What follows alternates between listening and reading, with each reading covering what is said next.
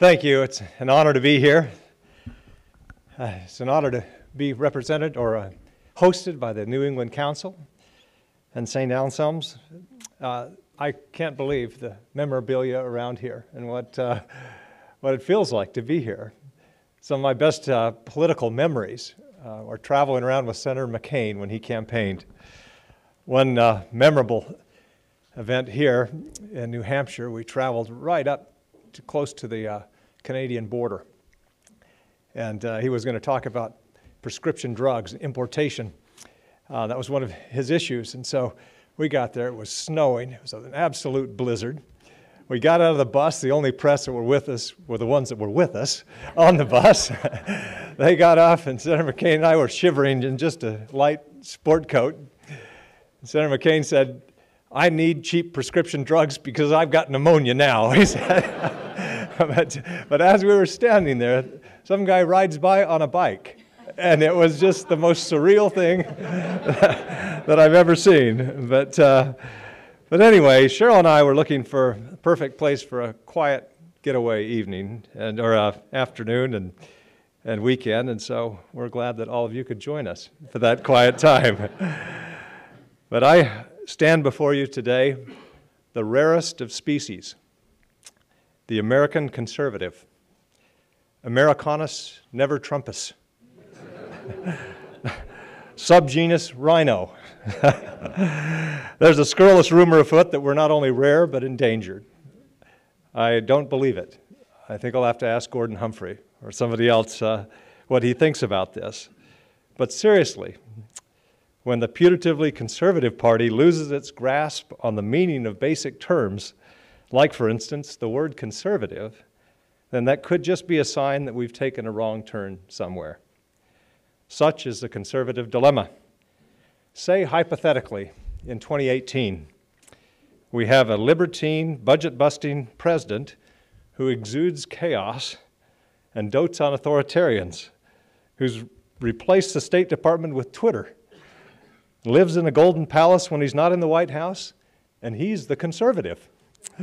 Just for argument's sake, I grew up busting broncs and castrating bulls. My wife cuts my hair because I'm too, too cheap to go to a barber. And she says, Your hair better look good today because I killed earmarks while in the House, scored a perfect 100 with the Club for Growth, and have a lifetime rating of 94 with the Arizona or the American Conservative Union and I'm the RINO. The amazing thing is that in Washington right now, among people in my party, when you hear these two comparative profiles, people will say, Yeah, that's about right. What's the problem? It's like invasion of the body snatchers. What have we done with all the conservatives? In all seriously, seriousness, though, we have a long road to hoe to recover as a party. The collapse of our principle and the narrowing of our base didn't happen overnight, and quite obviously won't be fixed anytime soon. As a lifelong Republican, the health of my party is of great concern to me. Because to have a healthy politics, you need to have healthy parties. But as important as the Republican Party is to me, my country is more important. It's well past time for us to put country before party. We've tried the other way for too long. We've done our worst. Now it's time to do our best. As a kid, for as long as I can remember, we had a three by five card stained with vegetable oil, cookie dough, and brownie mix that was pasted to our refrigerator. It read, Assume the best, look for the good. To do list, wedding invitations, school pictures, ribbons from the county fair, they all came and went over the years, but that card remained. Assume the best, look for the good. That was as close to a motto as our family on the ranch had. So much of this phrase still adorns, so much so that this phrase still adorns the refrigerators on, with handwritten cards and even hangs above the doorways in stenciled wood in the homes of nearly all of my parents' children, all 11 of them. That's how I got elected, by the way. I'm so grateful to my parents for giving me that creed assume the best, look for the good. as a prism to which, through which to see the world. And like one of those to do lists on the fridge, we conservatives have a few things that we are in desperate need of reminding. In fact, if I didn't know better, I would say that as a political movement, we've been out of our minds lately. There are those in my party, for instance, who continue to marvel at the strategic underpinnings of the daily chaos set loose in the White House. You just have to shake your head. That which is strategic must first be thought, then thought through. Then a true leader has the confidence to have people more experienced than he tell him that why it might just be a terrible idea. Subject area experts become involved, maybe an astute lawyer who can give advice on whether something you want to do adheres to the Constitution. White papers are drafted, staffing happens, key people are read in, policy is made. The time it takes for a notion to tickle the cerebellum, send a signal to your fingers to pick up your phone, and thumb type a tweet is not a comparable process.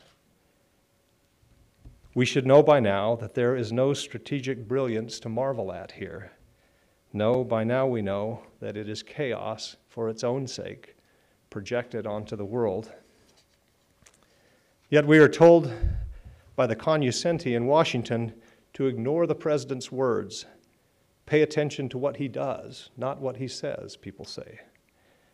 Those calls, of course, ignore the entirety of, the, of American history and exhort us to adopt a new norm to accommodate undignified public behavior just for this one president. In the sweep of our history, we have never been urged to not listen to what a president says. Such admonitions are preposterous now. Accommodating the unacceptable, willfully adding deafness to our already stunning blindness, this gives a whole new meaning to Senator Moynihan's fallacious phrase defining deviancy down. We will get through this, and when we do, perhaps what will most be remembered from this period will be the President's war on objective reality and the reflexive impulse to speak falsely. This is a problematic trait in business. It's a serious problem in personal relationships. But as a defining character trait, absolutely devastating in an American president. If one's word is one's bond, then the bonds that bind Americans to each other and to the world are truly imperiled. There is nothing that will be more vital to expunge from the American record than this frenzied attack on the truth. There are few jobs that will be more difficult than putting that particular horse back in the barn. Such is the power of the president to either build or destroy. And the irony should not escape us here that someone whose name became known to us as a builder would have such a penchant for destruction. What does it say about conservatives that our message is now so different from the words that my parents taught me? So different as to amount to a rejection of the optimistic vision of Ronald Reagan the extraordinary decency of George H.W. Bush, the principled constitutionalism of Barry Goldwater. What does it say that we have instead succumbed to what can only be described as a propaganda fueled dystopian view of conservatism? And what does it mean to say, uh, and what does it say in turn about the stewardship of America and its institutions? What it says is that we are as capable as anyone in forgetting our principles and our priorities and putting politics before party. Populist resentments may feel good in the moment, but indulging in them is destructive and self destructive and offers no solution to the very real problems that give rise to the resentments in the first place. Manipulating populist resentments is the oldest trick in the book and it is shameful. When we allow ourselves to prioritize winning at all cost over what is best for the country, when we ignore conscience in the face of what we know is wrong, when we reduce our rich democracy to a series of purely binary calculations then we have chosen our political interests over the public interest, and in so doing, we inflict great harm on the country. When we excuse on our side what we attack on the other, we are hypocrites. If we do this as a practice, then we are corrupt. If we continually accept this conduct as elected officials, then perhaps we shouldn't be elected officials. Acting on conscience and principle is the manner in which we express our moral selves, and as such, loyalty to conscience and principle should supersede loyalty to any man or party. We can all be forgiven for failing in that measure from time to time. I certainly put myself at the top of that list of the list of those who fall short in that regard. I am holier than none. But too often, we rush not to salvage principle, but to forgive and excuse our failures and the failures of our partisans, maybe, maybe even deny them, so that we might accommodate them and go right on failing until the accommodation itself becomes our principle. In that way and over time, we can justify almost any behavior and sacrifice almost any principle. That is where we find ourselves now, I'm afraid. We came to a fork in the road back there somewhere, and we went the wrong way. We took the road too often traveled of venality and mendacity and political expediency. We've gone farther and faster down that road than anyone has before. It's now time to take the road less traveled. It's a harder path, but we will be better for its difficulty. We will get through this, and when we do, there will be much work to repair the damage. There will have to be an accounting for how we got here so that we may never find ourselves here again.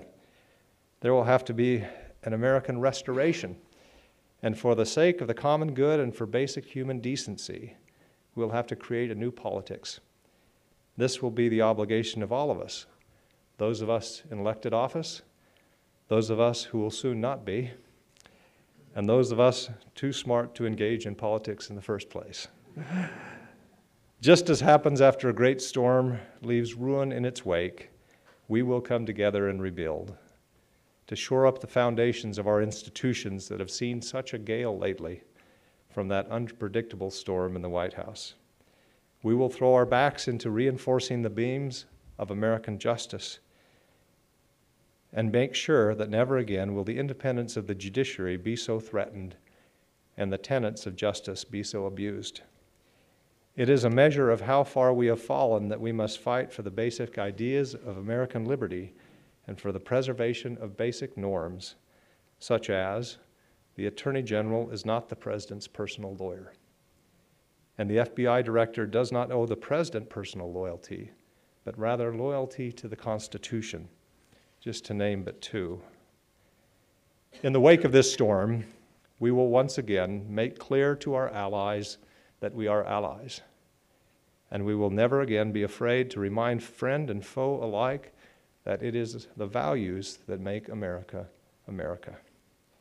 We will not nod and wink at dictators nor will we congratulate them for the good job they are doing in their programs of extrajudicial killings, nor will we host them in the Oval Office, nor will we hesitate to punish them for attacking our elections. We will be crystal clear and unambiguous in our defense of this country against the rogue ambitions of the likes of Vladimir Putin. There can be no passivity regarding the demonstrated Russia threat. If this president saw it as his mandate to come in and turn the, the system upside down, to break the logjam and get things done, then it strains comprehension how going easy on dictators who attack us and how undermining the independence of our justice system are part of the solution to breaking up Washington's partisan logjam. They are not part of the solution, of course. Rather, they are among the bizarre features of an anomalous presidency and it is our duty going forward to make sure that they remain anomalous and never become thought of as normal. How anomalous is this behavior? At, Pen- at, a Pennsylvania rally just days ago, the president sought to quiet the crowd from booing the mention of North Korean dictator Kim Jong un. just as he encouraged and reveled in a chorus of jeers for the U.S. news media. This was the same speech, of course, in which he taunted a member of Congress for having a low IQ. How anomalous? Referring to the media as the enemy of the people is not normal, nor is it acceptable. It is hard to say whether the president is aware of that phrase's ignoble pedigree or whether the impulse just comes naturally to him. Either way, dictators around the world are borrowing from the president's usage of the term fake news to silence legitimate criticism and opposition. If my party is going to try to pass off this degradation of the United States and her values from the White House as normal, if we're going to cloister ourselves in the alternative truth of an erratic leader, if we're going to refuse to live in the world that everyone else lives in and reckon with the daily reality that they face, including the very real and understandable anxiety that they feel, then my party does not deserve to lead.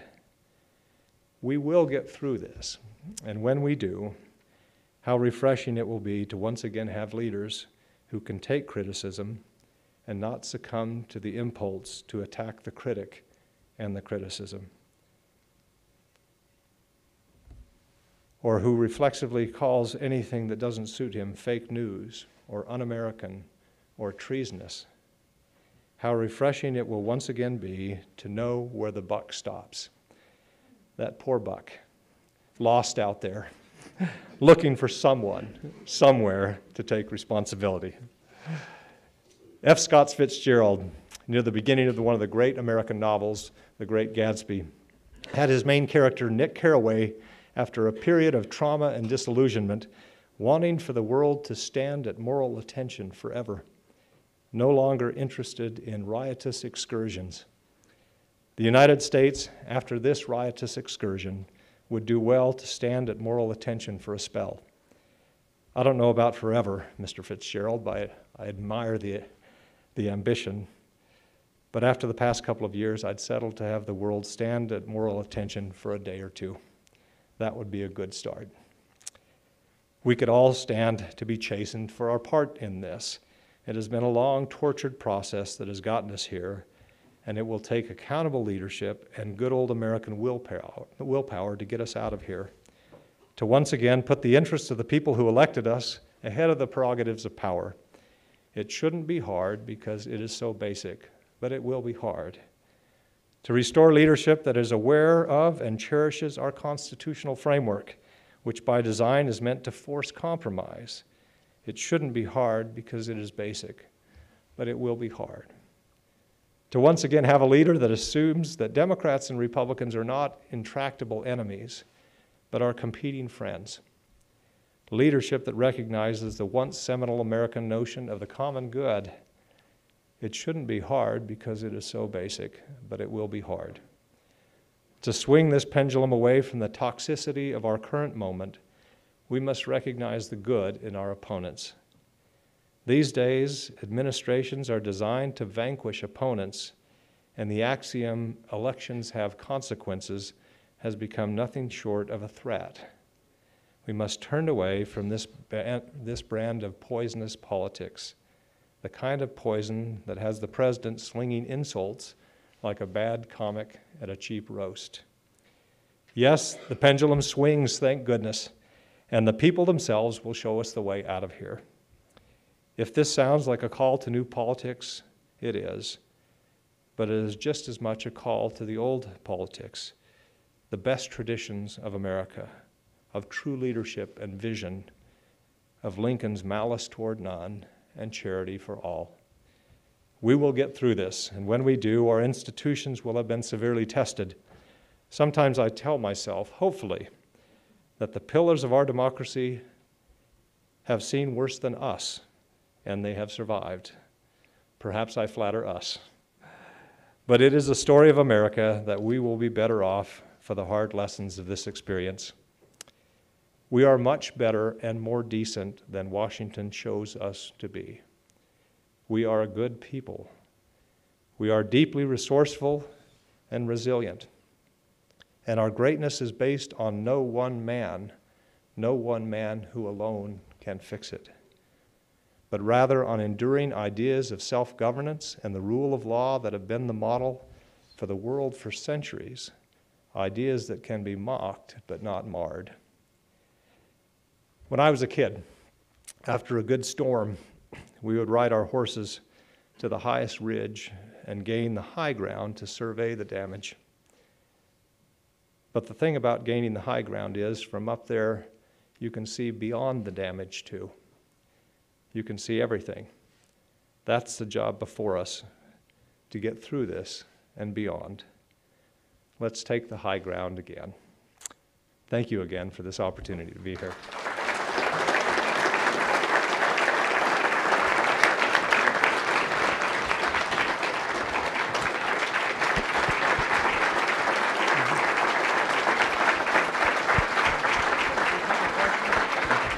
Questions now?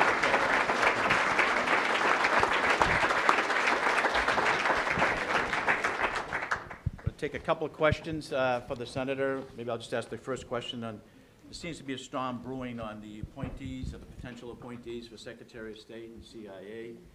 One of your members of the Republican side has already indicated he will not vote for the nominee.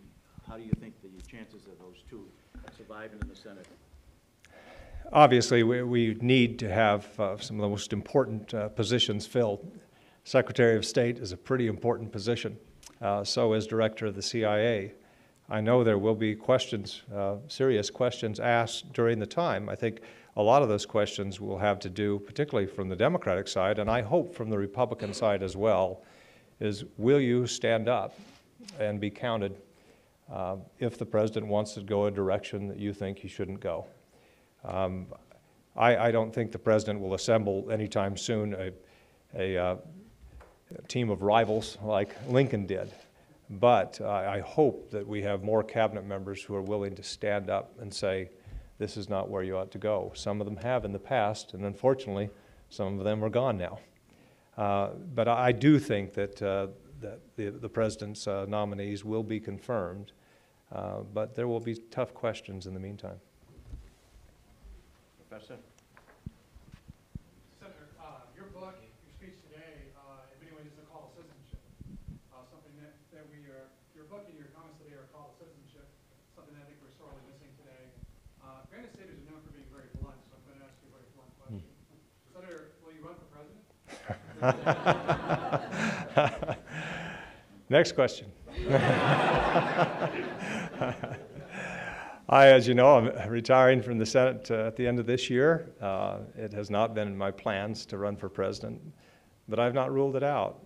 I hope that someone does run in the Republican primary, somebody to challenge the president. I think that uh, the Republicans want to be reminded what it means to be a traditional, decent Republican and what the party stands for limited government, economic freedom, free trade, embracing immigration. Uh, these are things that have made the party what it is over the years. And I think that uh, people are wanting to hear that reminder. Uh, so I don't know who it will be. I think the odds that I will are long, uh, but I've not ruled it out. Yeah. Senator, thank you for your speech. It was really excellent speech. The question I have is revolves around populism and um, trying to, to get a feel for populism is sweeping across Western democracies right now. And you know, you heard from Hillary Clinton about the, the middle of the country. And so my question to you is this: How do we reconcile globalism, which is now a dirty word, and free trade, which is a dirty word, against the many of the people in this country who feel left behind and don't take solace in the sort of creative destruction of a free market? What, do we, what is the uh, you know, conservative answer to that? That's, that's an excellent question. A lot of people have been left behind um, by, by modernization, automation, mechanization, and, and will continue to be as we go along, and we need to address that. Uh, what I don't like to see, uh, I mean, populism is called populism for a reason. It's popular. And it's far easier for a politician to point to a shuttered factory and to blame a free trade agreement or scapegoat immigrants rather than addressing the real problem. Uh, real problem is, uh, and it's not so much a problem as a, an opportunity, but automation and mechanization, um, modernization. Uh, but we need to, to uh, address education and other things as well. But uh, the problem with populism is that it involves particularly this strain of populism we're seeing right now, this kind of nativist strain. It, uh, it involves resentment uh, and anger. And resentment and anger are simply not a governing philosophy. And we're, we're testing the limits of that now. Uh, we, we, in the Senate, obviously, need 60 votes to do just about anything.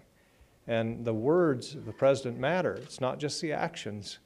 Um, and this, this, populist rhetoric uh, certainly drills down on the base and gets the base excited, I think a shrinking base, but without uh, appealing to a broader electorate and without appealing to a broader cross section of the Congress, it's tough to get things done, things that we can't do under rules of reconciliation where we just only need Republicans. And we've just about run that gamut. And so now, from now on, uh, we have to have bipartisan agreement. And the problem with populism is just it, you, you can't get there and because in the end, it's not a governing philosophy.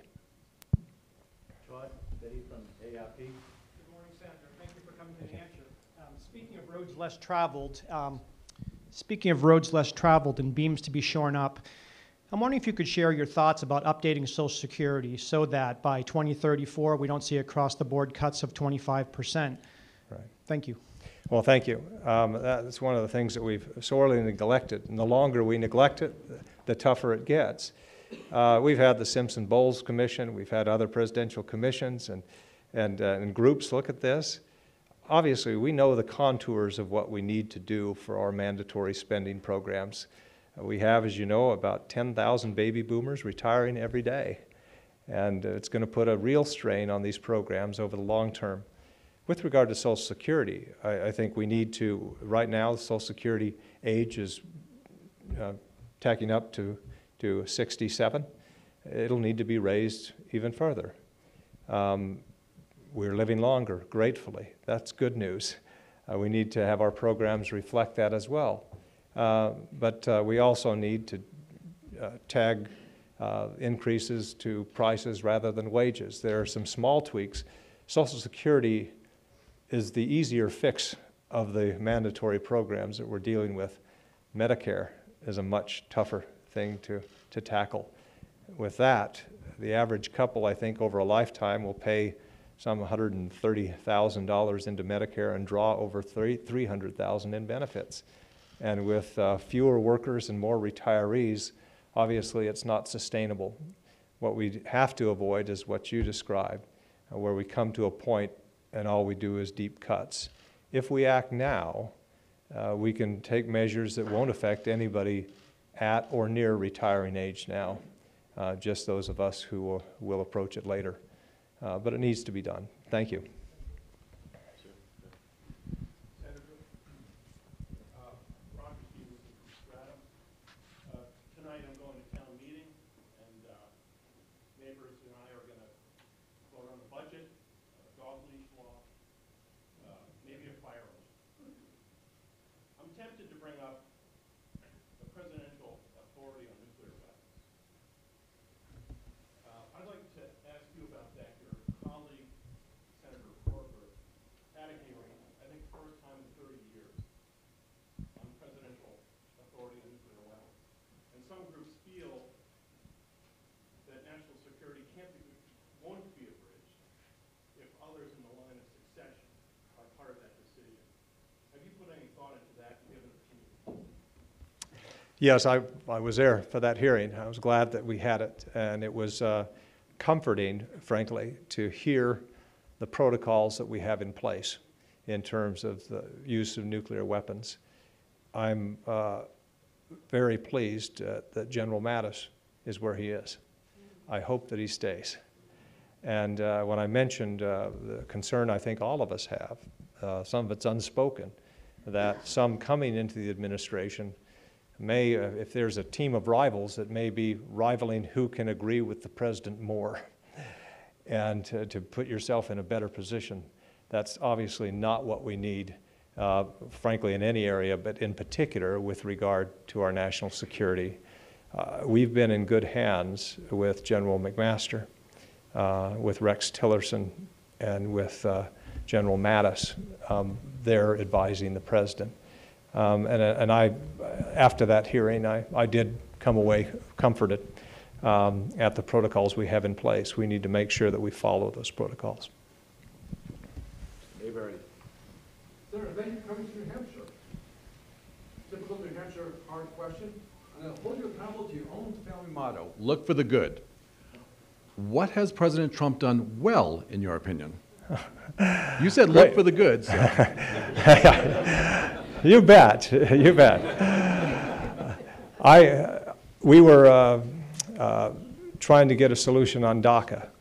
Uh, These are the kids uh, who were brought across the border, no fault of their own, and have been left in limbo for a long, long time. Arizona has about 50,000 of them, uh, but 800,000 registered in the program and a lot more that uh, qualify but haven't been registered. Uh, President Trump came out and said, uh, let's have a path to citizenship for 1.8 million of them. Not just the 800,000 who are registered in the program, but 1.8 million, a path to citizenship. That was a big move, and I applaud the president for it. Uh, I think that was the right move. We've got to do some other things along with that, uh, which we haven't been able to agree on. Uh, but I, I think the president uh, did a good thing there.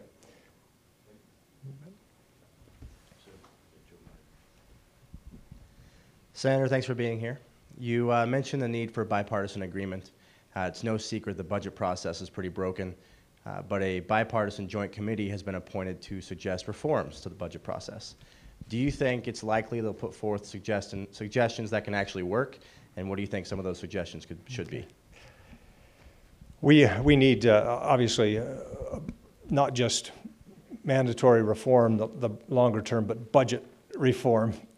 That uh, we have a system that uh, really, the Budget Act of 1974, I think, uh, really is not uh, suited for, for this day and age in, in the way Congress works. It makes it more difficult to get bipartisan uh, agreement. So I, I, I always hope that we can pass reforms to it. Uh, but uh, that 60 vote hurdle in the Senate just comes to get us every time we try to do process reforms. I got so uh, frustrated uh, several years ago with the lack of bipartisanship that uh, I teamed up with Martin Heinrich, a Democrat from New Mexico, and we marooned ourselves on an island in the middle of the Pacific for a week with only a machete between us to, to see if we could survive. Discovery Channel came along and filmed it. They called it Rival Survival. It wasn't, it's not that naked and afraid one you see out there. But, uh, uh, they aired it in between episodes of Naked and Afraid. But, uh, but we wanted to see if we could uh, get along and, uh, and survive together. We did. We made it back. We went on a little circuit together, David Letterman and a lot of the shows. Stephen Colbert ran a clip of us trying to spear fish out there and said, Flake and Heinrich proved once and for all Republicans and Democrats can get along when death is the only option. for what it's worth, we've proved that empirically. So it needs to happen. Uh, there, there, one thing the president's been pushing for is for the Senate to get rid of the filibuster. Uh, there are reforms that are certainly needed. Uh, we can get rid of the motion to proceed so we don't have to slow a bill down twice. But I would be very much opposed to get rid of the 60 vote requirement uh, that it takes to pass legislation out of the Senate. Uh, some of the worst laws that we have, legislation that has been passed, are, are those pieces of legislation that move through by a bare partisan majority. Uh, the Senate has been the Senate for a reason, different rules than the House, forcing uh, the parties to compromise. The difficulty that we are facing in the Senate uh, right now is uh, we've had dysfunction for a while in terms of the parties not being able to get together. We've had a lot of turnover in the Senate. Over the, if you've been in the Senate for eight years, uh, you've been there longer than half of the Senate. Uh, It's hard to believe, but that, that is the case. But what that also means, is that you have more than half of the Senate, uh, senators who are there, unless they served in the House, uh, have never seen regular order, have never seen the Senate function, or the Congress function, how it used to function. And the longer we go, and the more people who come in who haven't seen that, uh, the more difficult it is to strike that kind of compromise that you have to have. Great question. Senator, can I just ask a quick question on, uh, just thought, immigration? You played a major role several years ago, the Gang of Eight. Four Right. Democrats, four Republicans got together in a room, and they came up with a compromise on immigration. Democrats, Republicans. Sent it to the floor, and they got sixty-eight votes. Right. Democrats, Republicans. What's happened? Well, you can't do that. Well, that's a great question. Uh, That, as soon as I got to the Senate uh, in 2013, um, I was approached by Dick Durbin and uh, Chuck Schumer and John McCain and Lindsey Graham. and We, we formed this gang. I thought I'd left gang life behind after the mean streets of Snowflake, where I grew up. But, but and, and that, isn't it something that uh, when you have a bipartisan group get together, you call it a gang, as if it's some kind of illicit activity. Uh, but, but that, what you mentioned, was about the last time we've seen uh, the parties get together on a very controversial topic and, and work something out. And I can tell you that took about seven months of negotiation, about every night in Washington, that we were in Washington during that time, and then took it to the committee. And what's important and what the Congress used to do is if a group of bipartisan senators agreed on something, when that bill got to committee and then onto the floor, they would protect that bill. Even if there were, there were a lot of amendments that I really liked, but they would have imperiled the bill. And so I voted against them. And some of my Democratic colleagues did that as well. Uh, but we couldn't get it uh, past the House. and, uh, but, but we did get the Senate, 68 votes. And uh, it, it's a shame that we haven't seen more examples. We're going to have to in the future. That's how legislating happens. Uh, but let me just mention along those lines and how difficult of environment we're in right now. DACA is just kind of a, a portion of comprehensive reform. Uh, there was one element that the president wanted in there. Uh, he wanted us to deal with the diversity visa lottery. About 50,000 visas we give out just by lottery, and it's kind of outlived its usefulness. Remarkably, in the Gang of Eight bill, we eliminated the diversity visa. We allocated those visas mostly toward employment-based visas. And so we got rid of it. It was a tough thing, mostly on the Democratic side, but they compromised because they had some things elsewhere in the bill. The president insisted that we deal with the diversity visa lottery, but then during the negotiations a couple of weeks ago, the president made the very derogatory and offensive, uh, um, you know, used derogatory and offensive language referring to some African countries from which some of the diversity visa recipients come.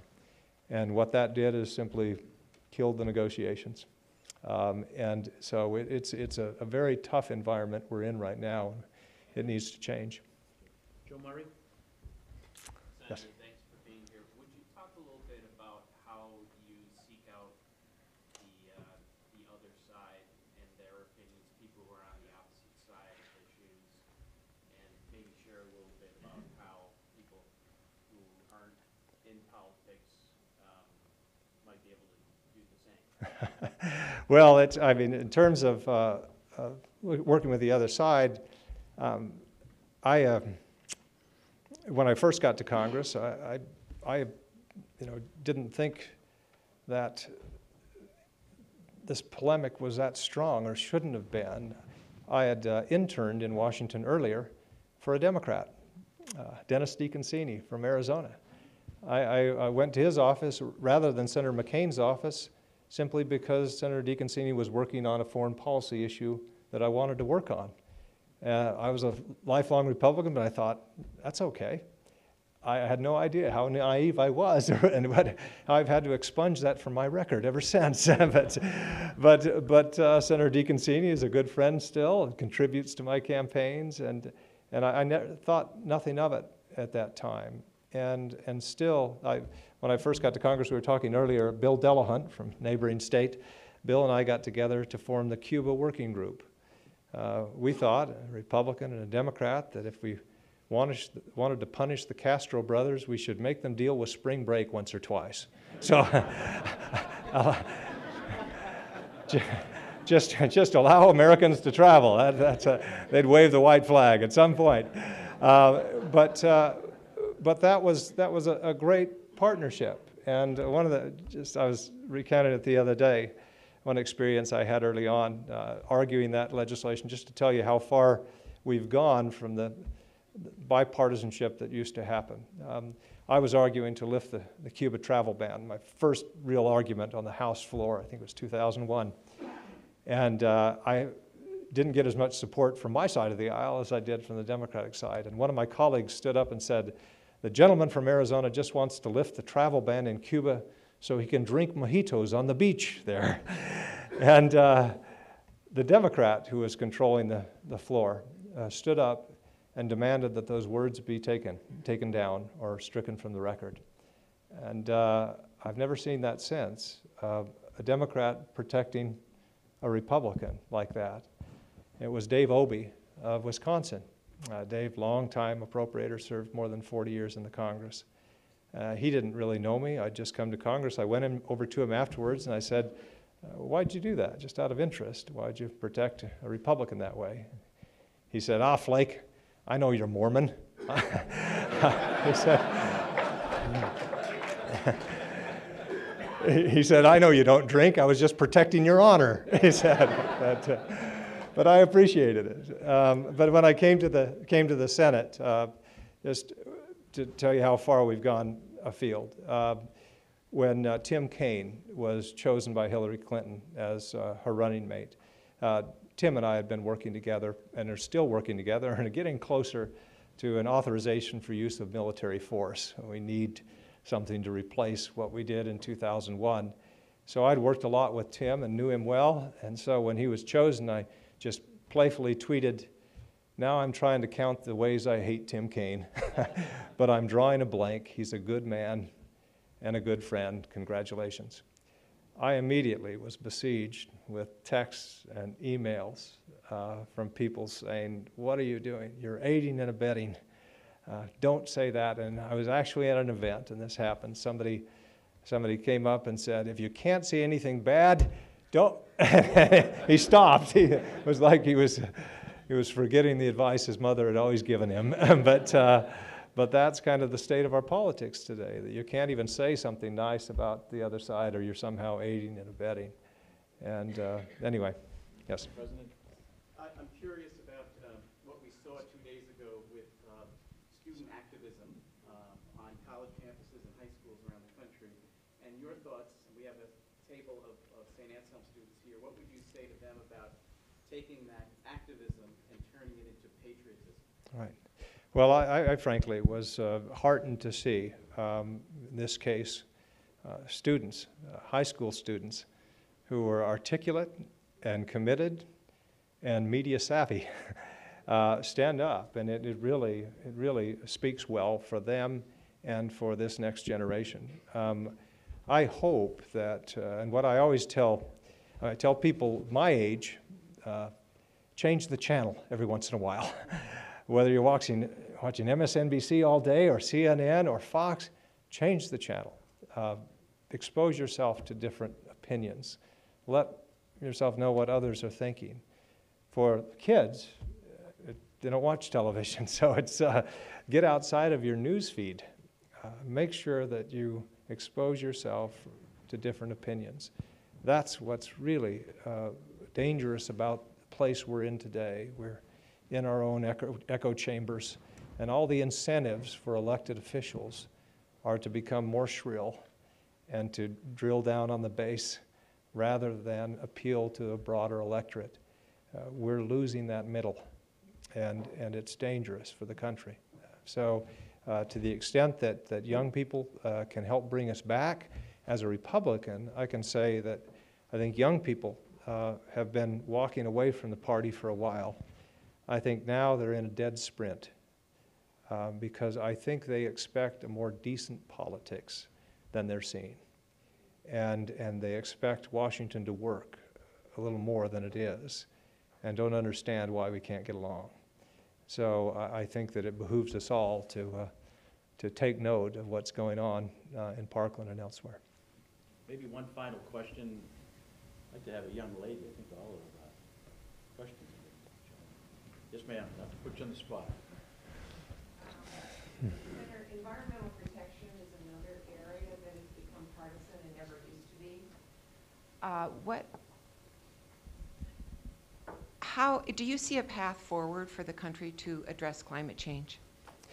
You know, uh, gratefully, uh, we're, we're at a time when uh, just natural gas replacing coal has helped us make big strides in terms of overall uh, environmental protection, but we need to do a lot more. In Arizona these days, between the hours of 11 a.m. and 2 p.m., we get uh, negatively priced electricity from California. There's so much solar being produced in California, they can't use it all. They push it to, to Arizona during those hours and pay our utilities to take it off the grid. Um, that's led to all kinds of opportunities that we didn't have before that, that the market uh, is, is helping out with, particularly as we get more utility scale storage. And uh, um, it, we, we've got to also, I think Republicans as a party need to be more accepting of reality. Climate change is real, and it is happening and we need to respond to it. Uh, perhaps on the other side of the aisle, there needs to be a similar recognition that we need a carbon-free baseload power. Nuclear is it. Uh, that, that helps us. Uh, we need to, to compromise on some of these issues and move forward. And I do think there is a way forward. Technology is showing the way and making it a lot easier for us, and things that we never thought possible. We had no idea we'd see what we're seeing in Arizona just five years ago. And I think the future is even brighter in that regard. So, thank you. As, as you leave the United States Senate, can you name three members of the Democratic side and the Republican side that you're going to miss?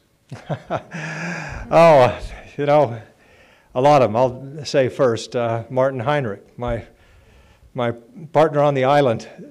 He can't light a fire to save his life, but uh, but he's a heck of an engineer and builds a great shelter. And, uh, and I've, I've, I will uh, certainly miss him.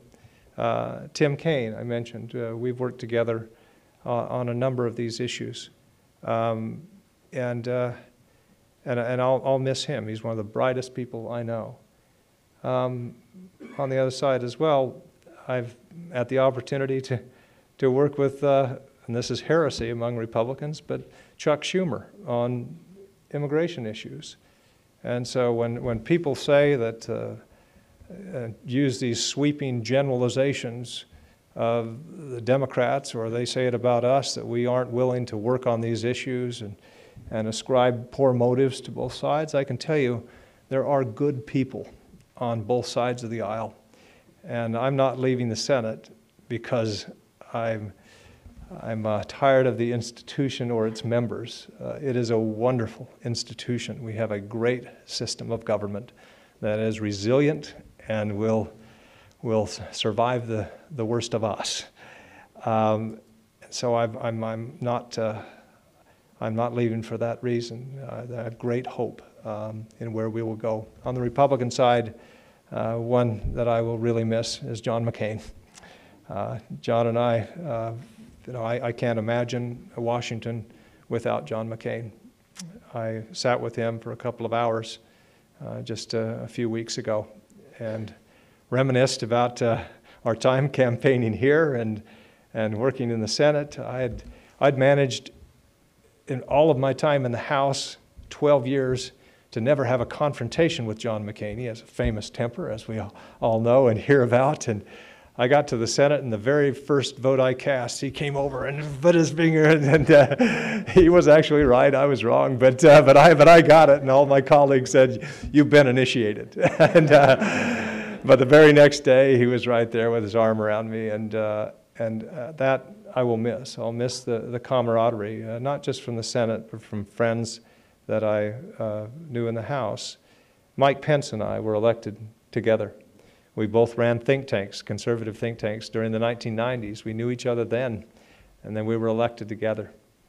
And uh, I've, I've spent a lot of time over the, you know, the 12 years in the House before he ran for governor and I ran for the Senate, uh, sitting with Mike at virtually every uh, State of the Union address. Uh, one of them, I remember, one of the early ones, uh, we thought that George W. Bush was proposing far too much spending for two think tank conservatives. They had come to Washington to turn it over, and and uh, I just remember us both clapping slowly at one of the spending programs being announced, and Mike said, "Just because I'm a clapping for it doesn't mean I'm a voting for it," he said. And, uh, uh, but we've maintained that friendship. It's a little.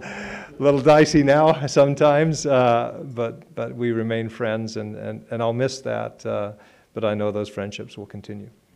We want to thank you for stopping by uh, here in a quiet weekend in, Hampshire, uh, all the way from Snowflake, uh, Arizona. Um, Very thoughtful remarks and uh, obviously very well received here. But more importantly, we want you to know that uh, if you can just pass on to your colleague, Senator John McCain, who truly is a distinguished public servant and an American hero, and somebody who's beloved in New Hampshire. He won the GOP primary here in 2000, uh, and I think 2008 and before. He has a history of uh, being here for so many uh, causes, and he has so many friends here, that if you just let him know that you were here in New Hampshire, and what people said is that he is on the prayer line of so many people here, and that they wish him, you know, so much strength, that he just has, you know, the, uh, the the strength to, uh, to battle that terrible disease that he has. That we're all with him, and uh, we're grateful for his service, I will pass that on. Thank you.